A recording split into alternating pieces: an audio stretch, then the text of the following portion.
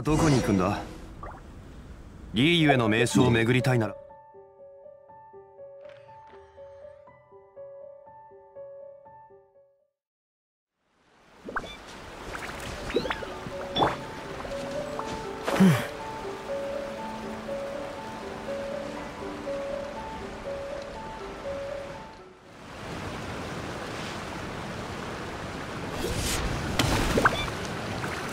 轟さん。商品が届いたから棚卸ししてくれ。おう今行く。し声出さないで。こっそりついていくんだ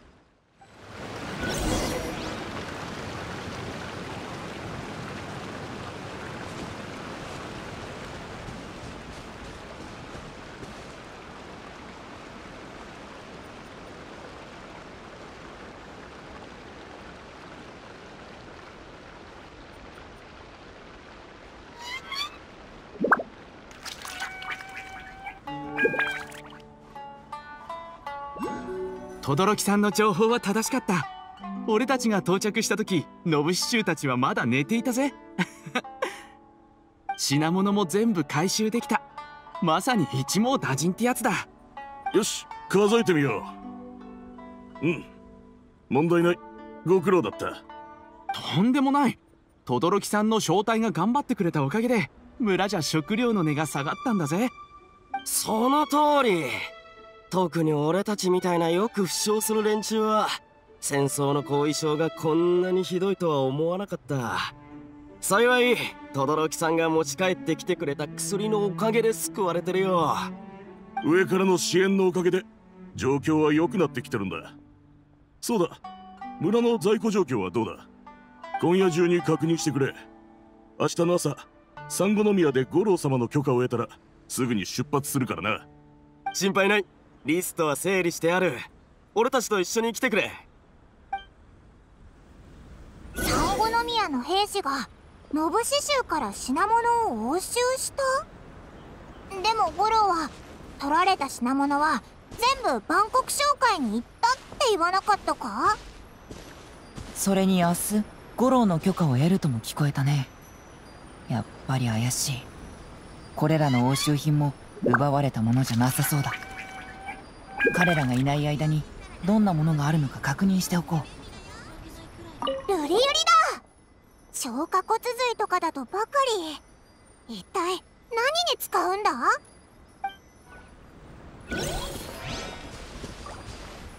この箱厳重に梱包されているな。中には何が入ってるんだろう。あれこの花や植物は何だろう？初めて見るぞ。ん？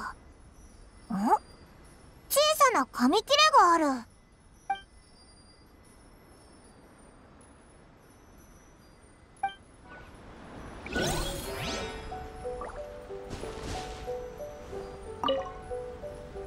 わ！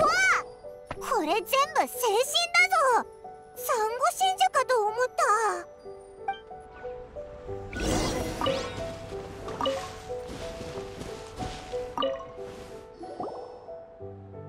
何か見つかった？精神とルリユリがたくさん。他にも不思議なことに知らない花や植物がいっぱいだぞ。これは薬品の重要な原料で高価なものだよ。もしこれだけの量を離島から輸入するとしたらはっきり言って恐ろしい値段だ。それに関税払い込み証明書がないから密輸品の可能性が高いね。面白いノブッシュはどこでこれを手に入れたんだろう？他に見つかったものはある？一般客向け紹介？離島にそんな紹介があるなんて聞いたことないな。もしその紹介だとしたら密輸の可能性が大きくなった。うん。初歩的な推測がある。まずはおい！何者だ？しまった。バレちゃったぞ。え？隊長なのか？なんだ。隊長だったのか。びっくりした。泥棒かと思ったよ。隊長俺たちのこと覚えてるか？戦争の時俺とマサシが傷病兵収容所にいた時鉄平があんたを連れてきてあんたは薬をくれた。何言っててるんだ。隊長が俺たちを忘れるわけないだろ。隊長みんな寂しがってたんだぜ。戦争が終わってからずっと会ってないからな。この島に来るとき隊長は五郎様と三五宮様だけに会っていくだろう。兄弟たちだって会いたかったんだぜ。心配ない。俺たちは絶好調だ。何が絶好調だ。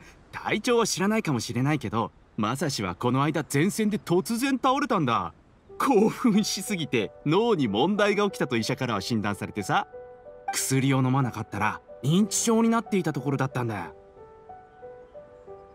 認知症だと？俺が倒れたのはお前が矢に撃たれて死んだと聞いて焦ったからだ。後から知ったがこいつはただお尻に矢が刺さっただけで全然平気だった。平気って気軽に言うなよ。2本も撃たれたんだぞ。それに両方とも左側に命中した。矢尻には毒が塗られてたし毎日薬を塗っても未だに完治していないんだ。寝る時だって傷口が裂けてしまわないか心配で。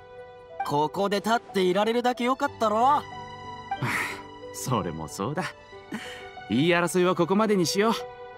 隊長今回は何の用事なんだい？おおこの品物はノブシ州と宝刀団から押収したんだ。轟さんから得た情報でな。轟さんが教えてくれた場所に行って犯人を一掃しついでに品物も押収してこいと言われた。そうだ。隊長はまだ轟さんを知らないだろ俺たちは今彼の元で働いてるんだ少し前に三五宮様が経済活性化のための計画を発表して轟さんを責任者とする正体を結成したんだ。彼は優秀さ。前は農夫だったんだが今や正体をうまく率いてる。それに2人の息子は俺らの戦友なんだが五郎様からも表彰されたんだぜ。すごいだろ。それで俺たちみたいに怪我を負った兵士は轟さんの元に移されたんだ今は轟さんの指示に従い給料も彼からもらってる。あいつらはこのことを何て言ってたっけ？転職だよバカ。そうそう転職。俺はいいことだと思ってるよ。もともと金持ちじゃないしここには作物を育てられるような土地もないからな。食料は外から調達する必要がある。戦時中と同じように軍隊を維持するのはなかなか厳しいだろなるほど大体は理解したよ。一つ聞きたいんだけどその犯人たちは今どこにいるの？えっとこの人は？隊長の友達だったのか。なら話してもいい。実は犯人を全員捕らえたんだ。今はここからそう遠くないところに拘束している。ただ俺とマサシは任務があって今夜は都合が悪いんだ。他の人に案内してもらうから少し待ってくれるかな大体はつかめたからあとは直接確認するのみだ。早速行こう。まだ少し混乱しているのかい？実は今回の件は以前担当したある事件ととても似てるんだ。金製品の取引の事件なんだけど手口が古いんだ。犯人はまず路上を徘徊していた通行人をわざと倒してその隙に通行人の袋に品物をこっそり入れた。品物の在りかを知った受け手はその通行人に手出しして袋の中のものを洗いざらい奪い尽くすって寸法さ。通行人は気の毒なことに最初だ旦那様許してくれ。俺はただの下っ端なんだ。旦那っていうほど僕も旅人も老けてないんだけど。いいえ若旦那どうかまずは質問に答えてもらおうかな。ははいもちろん。兵士たちが君たちの拠点からたくさんの品物を持って行ったけど地元のものじゃないよね。どこから持ってきたんだい？あれは全部海辺で拾ったんだ。拾った？いやう奪ったものだ。一から？正直に吐いてもらうよ。あはい。品物は海辺の小さな商船から奪ったんだ。いや実際は全部が全部奪ったものってわけじゃない。何しろ商船の見張りは俺たちを見た途端に逃げ出しちまって品物を置き去りにしたんだ。だから俺たちはそれを拾ってだが喜ぶ間もなく兵士たちがやってきて俺たちを捕らえた。まだ品物を手に入れたばかりだったのに取られるなんざ運が悪い。そして俺たちも捕まったんだ。つまり正体の護衛は君たちと一戦も交えず逃げたのかい？そんなことありえるの？おそらく怖くて何もできなかったんだろう。無理もない。うちの親分の戦闘力は半端ないんだ。その筋肉を目の前にすれば誰だって怯えるだろなんだかうさんくさいな。う小さい若旦那信じてくれよ。俺たちは確かに兵士を怖がらせたかもしれねえがあいつらが品物を捨てて逃げたんだ。そうだ。他にも覚えてるぞ。あの中にはサンゴ真珠と消化骨髄が入ってた。あの光沢と優れた品質。素晴らしかったぜ。だがその後海賊の一味に取られたのは残念だった。あの日うちの親分は腹を壊していて負けちまったんだ。不運だったぜ。海賊？そうだ大きな船から降りてきたジンを率いるやつは眼帯をつけた綺麗な女性でよ。まさかあんな迫力だとは思わなかった。バシバシっと親分を一瞬で倒しやがったんだ。眼帯の綺麗な女性？おや？パイモンは誰を思いついたんだい？だだ誰もおいら何も知らないぞ。じゃあ君は？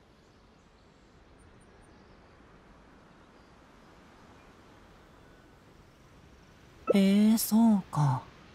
じゃあ君は知らないってことにしておくよ。どうやら僕の推理した通りみたいだ。轟さんは海賊の一味と怪しげな取引をしていて五郎大将はその隠蔽に手を貸している。そんさっき轟さんは明日の朝正体が出発する前に産後宮で五郎の許可を得るって言ったよね他にも何か怪しいところがなかったか今のうちに考えておこう。明日の朝彼らに直接退出する。その時僕の最後の疑問も解決するといいんだけど。あれだよこの島に欠けている大事なもの。五郎大将と轟さんからそして徳田正志からもその剣の匂いがプンプンするんだよね。さてどんな真相か。明日が楽しみだよ。今日は早めに休んでね。明日の朝産後の宮で。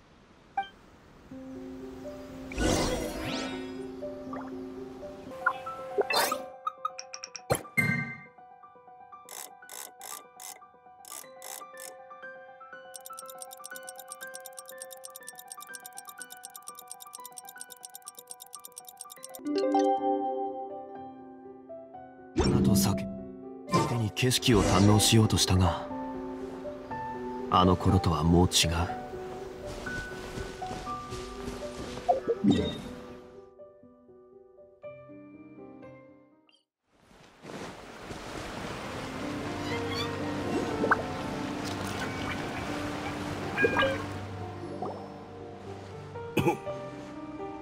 お前たちは誰だい？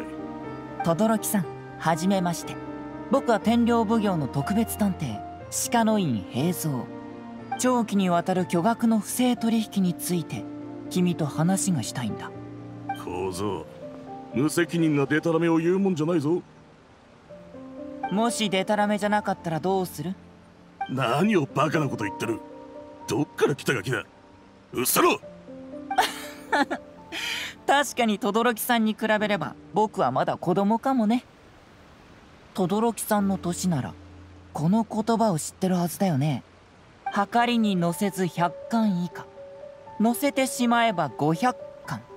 轟さんの品物もはかりで測ってみない？お前どういう意味だ？別に何にも。ただ轟さんの口から僕たちがすでに知っている真実を聞きたいだけだよ。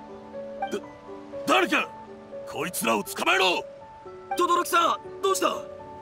誰だ？このサンゴ宮で勝手をする奴は。え隊長？どうしてここに？このコソ泥どもが渡積島の機密を盗もうとしてやがる。早くとっ捕まえろ！いや何か誤解があるんじゃないか？轟さんよ。この人は俺たちメカジキ2番隊の隊長だ。味方だよ五郎様が言ったことを忘れたのか。貿易の活性化は渡積島の一大計画だ。それにお前らは俺の手下。俺の命令は軍の命令と同格だぞ。隊長が何だ。軍の命令に従えないのか。そんな。どうしよう。まだやらねえのか。上等だ。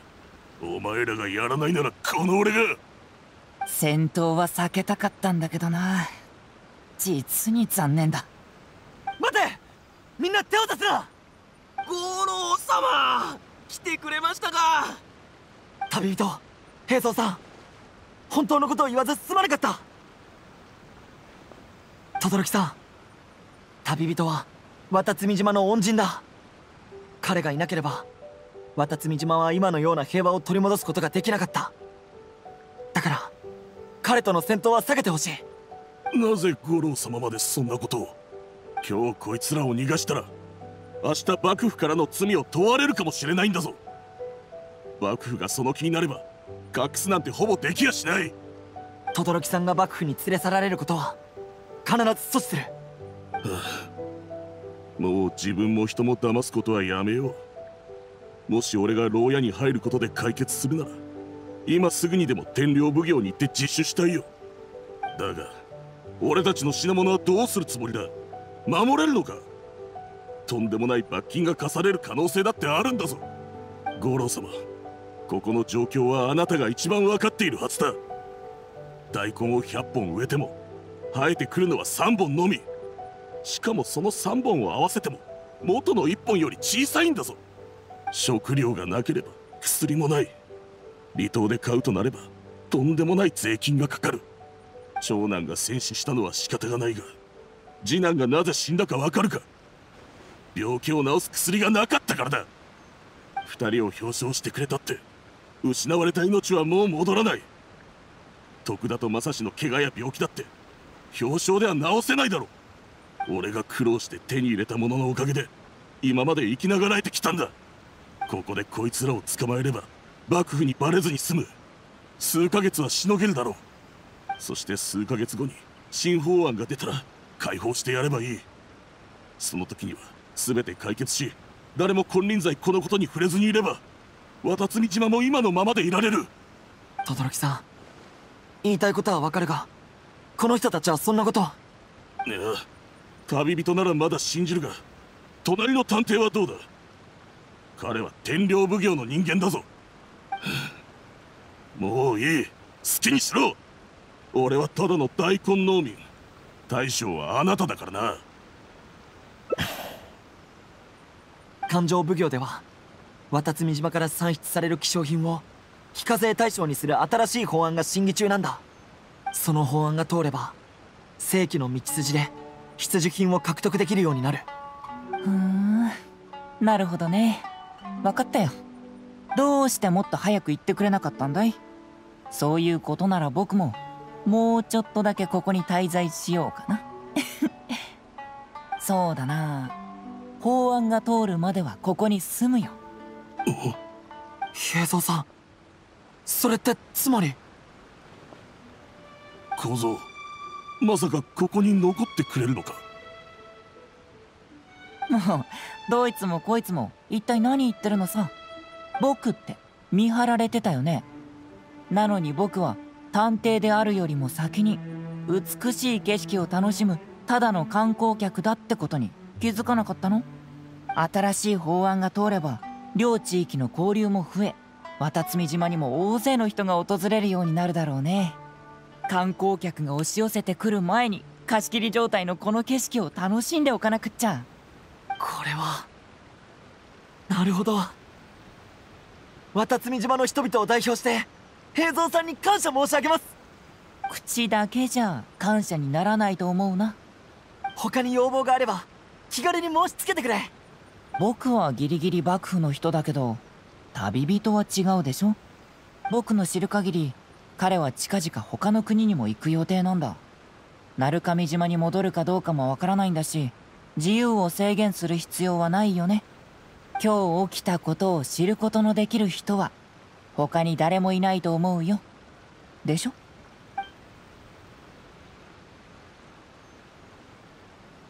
渡積島にとって彼はこれからもずっと大切な仲間なんだ。そんなことは決してしない。だから安心してくれ。約束だよ。もう僕に嘘をつかないでよね。僕だって怒るんだから。大事なことがゆえに関係ない人を巻き込みたくないと思っていたんだ。今まで本当のことを言わずにいてすまなかった。でも今日はどうやら俺が間違っていたらしい。平蔵さんと旅人を欺くなんて至難の技だった。物分かりのいい人だね。でも実を言うと僕の方こそ君とみんなに感謝しなくちゃ。僕に答えを教えてくれてありがとう。僕は探偵だから謎解きが一番好きなんだ。なるほど。そうだったのか。平蔵さんは本当に面白いお方だ。いや君は分かってないよ。どういうことだ？おおおいら知ってるぞ。あれだろ？五郎たちの匂いについてだろ？ひひもう答えが分かったのか？匂い？いや毎日きれいにしているつもりなんだがその匂いのことじゃないぞ。旅人こっちに来てくれない？君にもお礼がしたいんだ。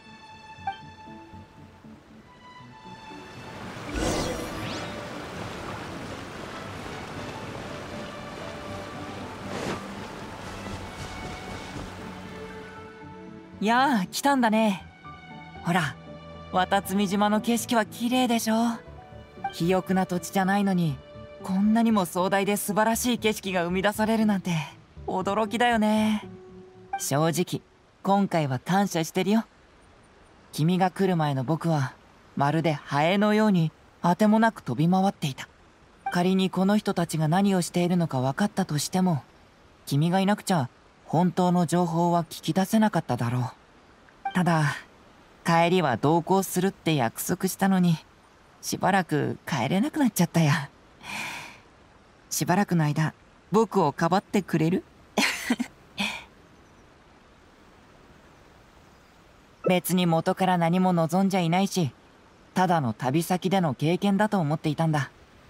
本当に調べたいことは他にあるからね。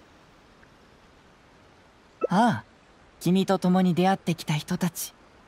彼らの言葉全てが僕を答えに近づけてくれた。そして今ようやく理解できたよ。渡積島は古くから存在する土地でしょ肥沃でなく作物がほとんど育たないのはあれが欠けているからだ。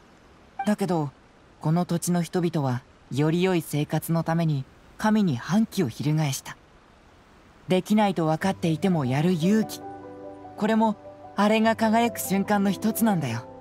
そしてその欠けている何かっていうのは五郎大将や轟さん。徳田正志たちに感じたもの。つまりこの土地の生命力だ。僕は最初この島の欠けているものが蒸発したと言ったけどそれは間違っていた。蒸発して消えたんじゃない。まだちゃんとここにあるんだ。水は火に焼かれると蒸発し最後には空を抱く。土地が傷を負った時に蒸発した生命力は民を抱くんだ。これが答えだよ。